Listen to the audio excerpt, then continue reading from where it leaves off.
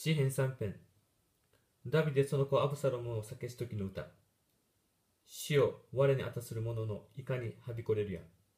我に逆らいて怒り立つ者多し。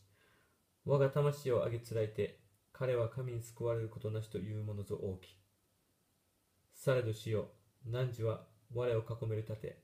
我が栄え我が神戸をもたげたもうものなり。我声を上げて主に呼ばわればその清き山より我に答えたも我伏していね。また目覚めたり。主我を支えたまえばない。我を囲みて立ち構えたる千代ずの人をも我は恐れず。主を願わくは起きたまえ。我が神よ我を救いたまえ。